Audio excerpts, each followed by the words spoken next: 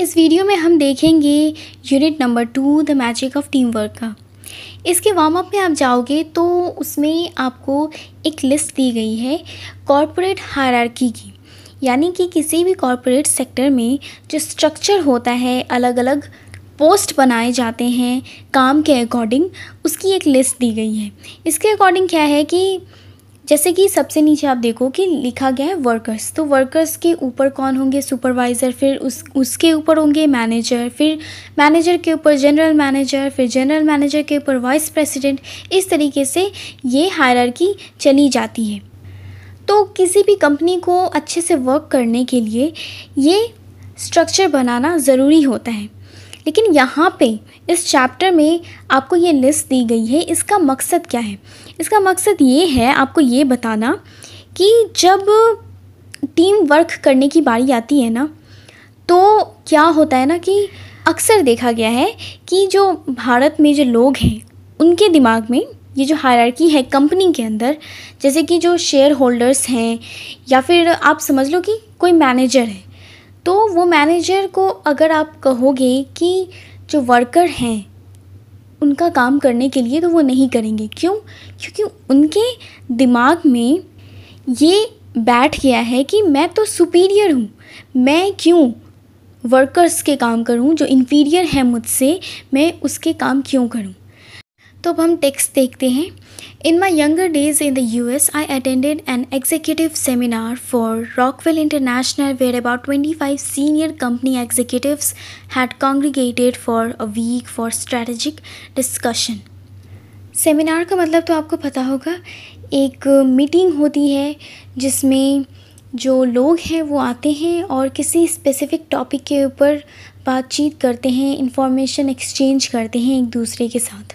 Rockwell international एक manufacturing industry थी। थी यानी कि अब ये जो कंपनी है, वो छोटी छोटी अलग अलग कंपनियों में डिवाइड हो चुकी है। कॉन्ग्रीगेटेड का मतलब होता है एक जगह इकट्ठा होना। और स्ट्रैटेजिक डिस्कशन का मतलब होता है किसी पर्टिकुलर किसी विशेष स्पेशल टॉपिक के ऊपर डिस्कशन करना, बातचीत करना।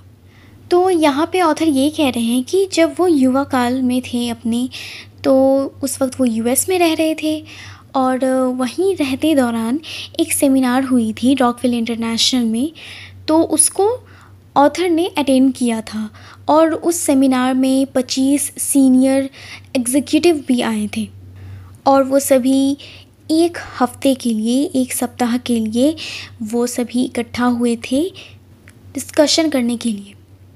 In the evenings, we would break out into five different groups of five people each.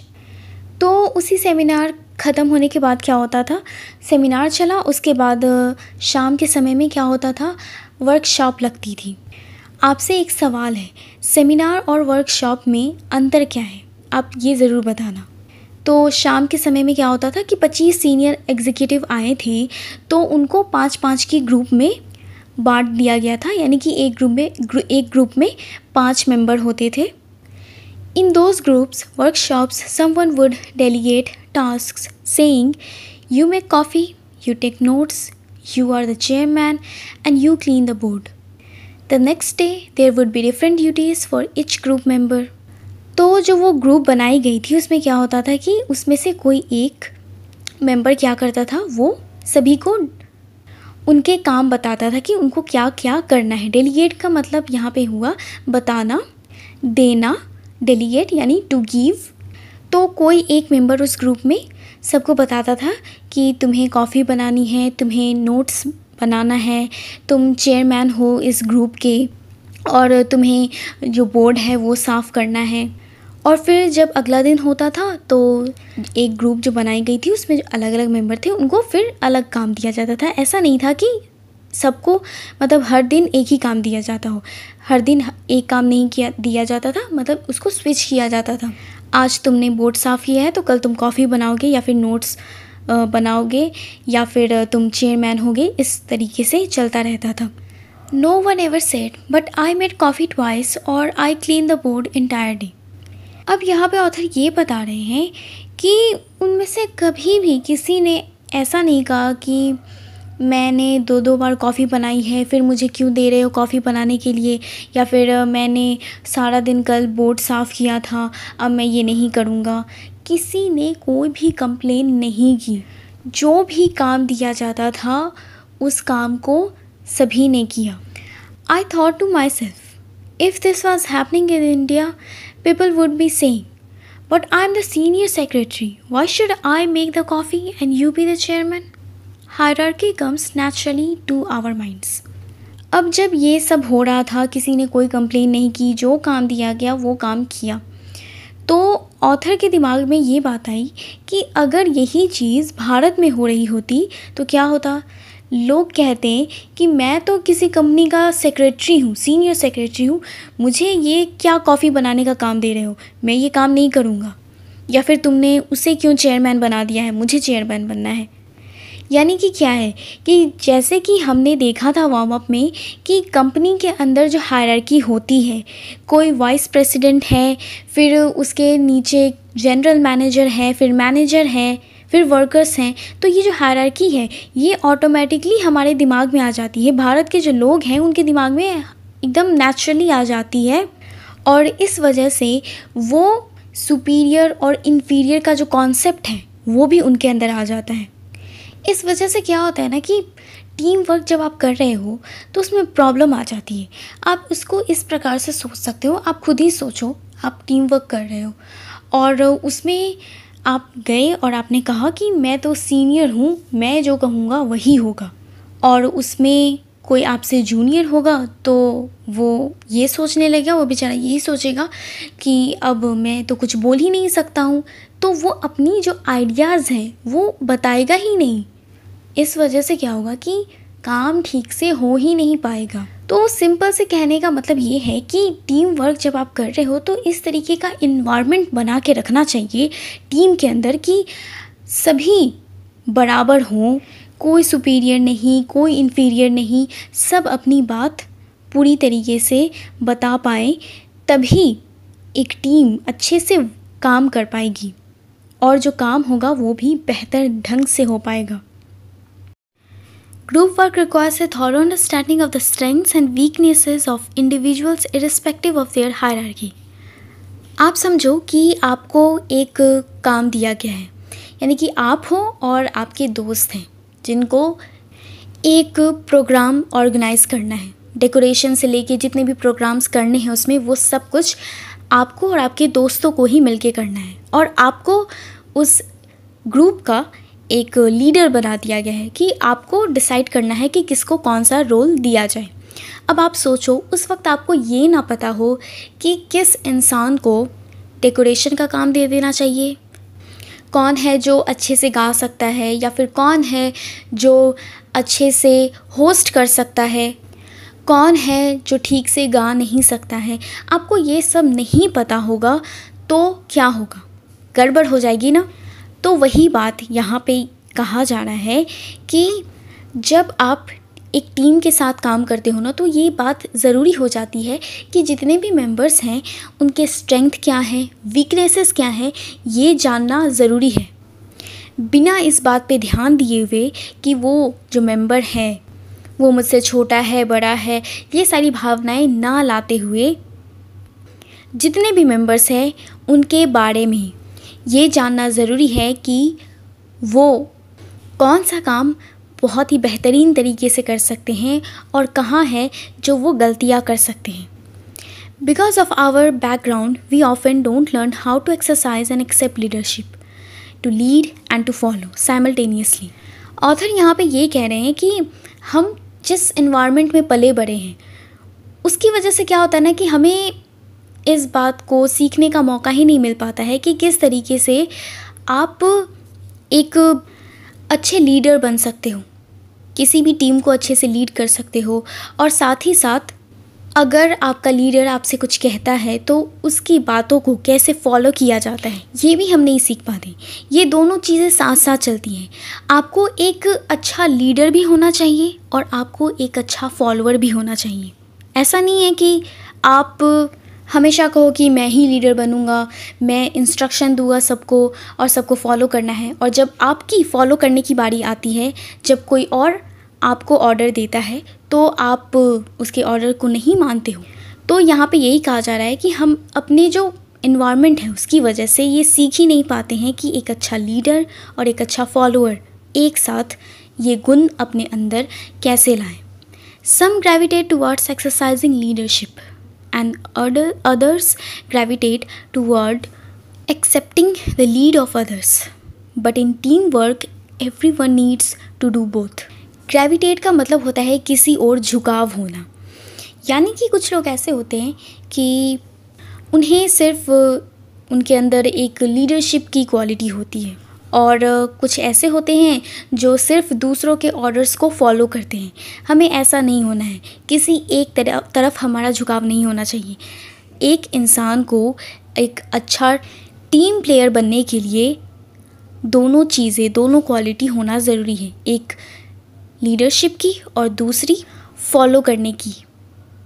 Being a good team player implies respect for others tolerance of different points of view and willingness to give यहाँ पे writer ये बता रहे हैं कि एक अच्छा team player होना इसका मतलब क्या है?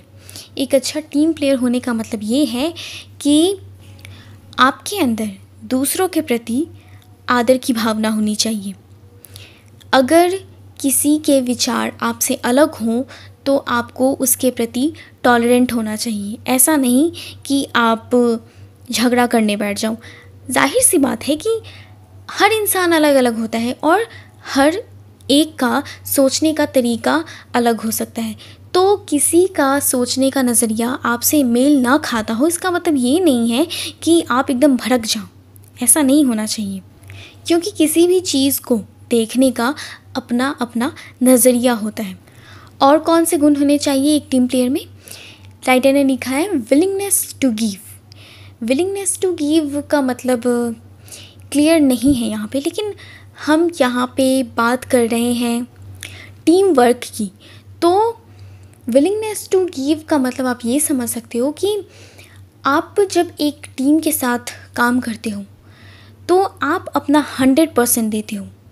तो जब आप अपना कंट्रीब्यूशन देते हो तो वो कंट्रीब्यूशन आपका नहीं होता है, सिर्फ़ आपका नहीं होता है, वो पूरे टीम का होता है।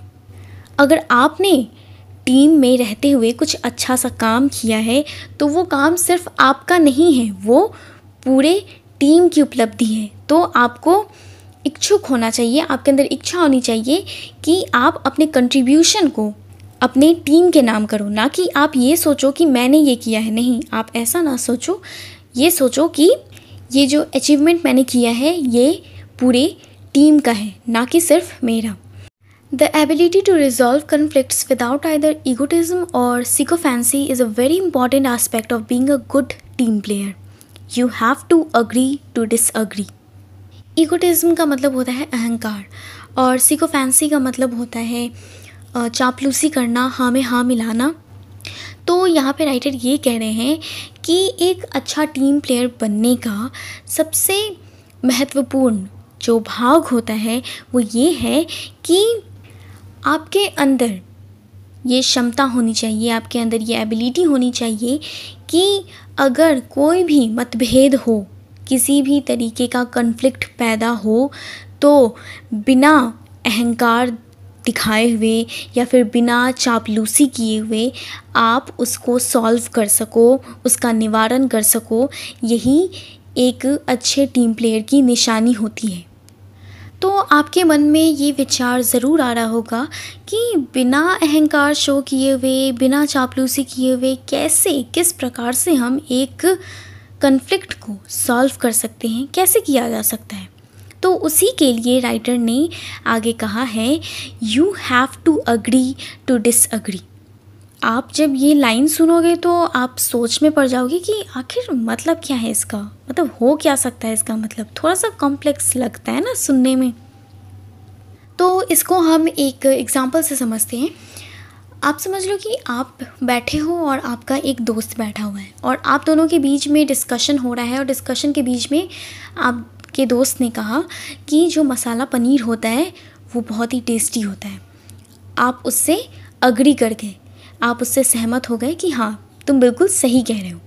इसके बाद आपके दोस्त ने कहा कि मसाला पनीर में जब दही डाल देते हैं ना, उसके बाद वो और भी टेस्टी हो जाता है। आपको ये बात बिल्कुल भी अच्छी नहीं लगी, क्योंकि आपको मसाला पनीर में दही डाल के खाना बिल्कुल भी पसंद नहीं। तो आपने उससे कहा कि नहीं, तुम ये जो कह रहे हो, ये बिल्कुल बकवास बात कह रहे हो और मैं तुमसे सहमत नहीं हूँ। तो ये क्या हो गया? ये आप उससे डिसअग्री कर रहे हो। और ऐसे ही में इसी बात पे कि दही डाल के खाना चाहिए कि नहीं खाना चाहिए, आप दोनों का झगड़ा हो गया। फिर थोड़ी देर के बाद आपको समझ में आया कि हो सकता है कि मुझे पसंद ना हो, लेकिन मेरे दोस्त को पसंद हो दही डाल के खाना। तो फिर क्या किया आपने? आपने अपने दोस्त से कहा कि ठीक है, हो सकता है कि तुम्हें दही डाल के मसाला पनीर खाना पसंद हो, पर मुझे पसंद नहीं है।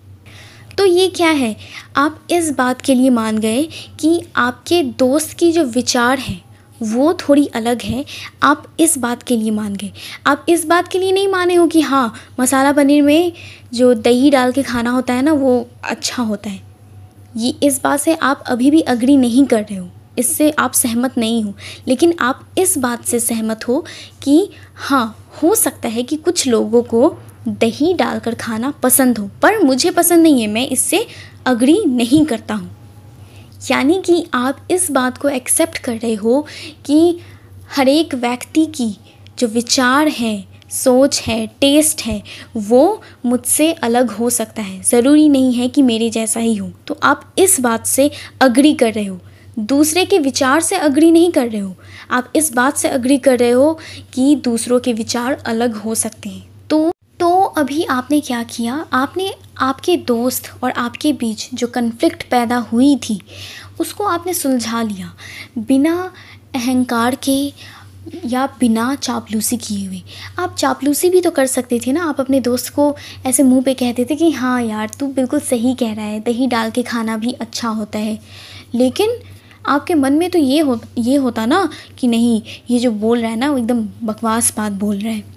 लेकिन आपने क्या किया? आपने किया agree to disagree I find that people in India tend to focus on achieving total agreement which is almost always impossible writer यहाँ ये कह रहे हैं कि उन्होंने देखा है कि जो भारतीय लोग होते हैं, उनका जो मेन फोकस होता है, वो होता है टोटल अग्रीमेंट को प्राप्त करने का। वो ये चाहते हैं कि किसी भी टॉपिक के ऊपर या फिर कोई भी प्रोजेक्ट पे वो अगर काम कर रहे हैं तो सर्वसहमति हो। यानी कि उसमें कोई भी ऐसा इंसान ना बचे या फिर कोई भी ऐसा पॉइंट ना बचे जिसके ऊपर कोई डिसअग्री कर रहा हो। लेकिन ऐसा पॉसिबल नहीं है। क्यों पॉसिबल नहीं है? क्योंकि हो सकता है कि लोगों के अलग पॉइंट ऑफ़ व्यू हो। इसीलिए वो कहते हैं, अभी आप आगे पढ़ोगे तो इसीलिए जो राइटर हैं वो कहते हैं कि इस बात पे ज़्यादा फोकस करने के बजाय कि सब सहमत हो जाए इस बात से, उसके बजाय क्या करना चाहिए कि आप जिस भी चीज़ के ऊपर काम कर रहे हो, उसकी शुरुआत कर दो। और शुरुआत कहाँ से करनी है? उन पॉइंट्स के ऊपर शुरुआत करनी है जिसके ऊपर अग्रीमेंट बन चुका है। जिसके ऊपर लोग अग्री हो चुके हैं, उसको पहले शुरू करें और जैसे जैसे आप आगे बढ़ो, काम करते रहो और आगे बढ़ो, तब धीरे धीरे जो भी पॉइंट्स हैं जहाँ पे असहमति बनी हुई है तो उसको धीरे धीरे करके आगे चल के सुलझाया जा सकता है। इससे क्या होगा कि काम जो होगा वो रुकेगा भी नहीं। और धीरे धीरे डिस्कशन करते हुए जो भी प्रॉब्लम्स है, जहाँ भी डिसअग्रीमेंट है, उसको सुलझाया जा सकता है। वरना क्या होगा? सबको मनाने के चक्कर में जो काम होगा, वो रुका का रुका ही रह जाएगा। ना शुरुआत होगी और ना ही जो डिसअग्रीमेंट हुई है, वो सॉल्व हो पाएगी। तो इसी चीज़ को आगे राइटर कहते हैं so before work begins people want every one to agree on every thing instead they should say okay this is what we agree on so let's start working on this what we don't agree on we will resolve as we go along तो जैसे ही किसी भी काम की शुरुआत होती है, उससे पहले ही लोग क्या चाहते हैं कि जितने भी मेंबर्स उस काम में इन्वॉल्व हैं, वो जितनी भी चीज़ें उस काम में हैं, उन सभी के ऊपर अग्री हो जाए, सहमत हो जाए।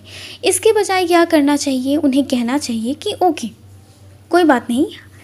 हम जिस भी चीज़ के ऊपर अग्री हुए हैं, जिसके ऊपर हमारी सहमति बन चुकी है, उससे हम अपना काम शुरुआत करते हैं, अपने काम की शुरुआत करते हैं।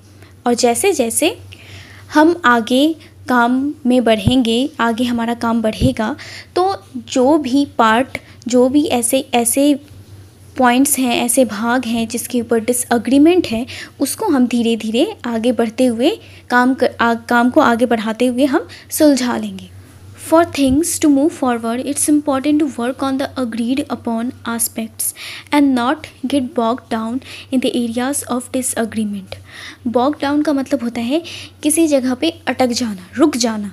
तो वही बात जो मैंने आपसे पहले कही थी कि अगर आप चाहते हो कि चीज़ें रुके ना, आगे बढ़ती जाए तो इसके लिए सबसे ज़्यादा इंपॉर्टेंट ये है कि किसी भी काम की शुरुआत उन एस्पेक्ट्स के ऊपर करनी चाहिए, उन भागों के ऊपर करनी चाहिए जिसके ऊपर अग्रीमेंट बन चुका है इसके बजाय कि जहाँ पे डिसअग्रीमेंट हुआ है, उसमें फंसे रहें, उसके बजाय जिसके ऊपर आपकी सहमति बन चुकी है, उन चीज़ों को पहले करें yet another another snake kills team work is people's political agendas.